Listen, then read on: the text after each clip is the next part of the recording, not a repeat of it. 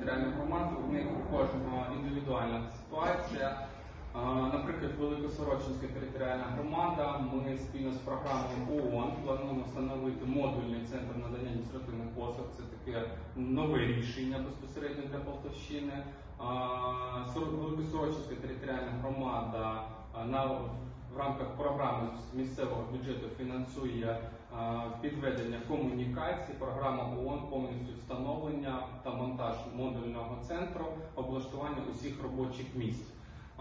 Щодо Драбинівської територіальної е, Драбинівської, Оболонської, е, Лютинської, е, ще Лютинської і Ланівської територіальних громад, вони будуть в своїх приміщеннях створювати центри надання адміністративних послуг.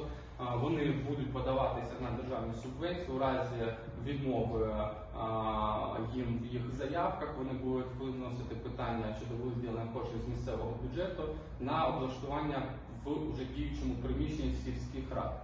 Якщо ми говоримо про Щербанівську територіальну громаду, вони за рахунок місцевого бюджету в головному сервісному центрі МВС, який знаходиться в Мачухах, е, будуть е, е, безпосередньо проводять зараз там ремонт для того, щоб створити центр надання адміністративних послуг безпосередньо в приміщенні головного сервісного центру МВС.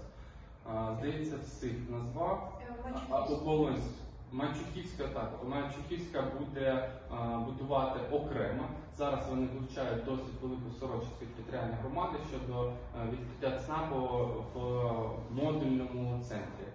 Зараз ну, це питання ми з ними пропрацьовуємо, але вони більш схильні відкривати окреме приміщення, тим паче, що біля а, сільської ради у них є а, територія, яка вже підготовлена всі документи для того, щоб там або будувати, створювати модульний центр.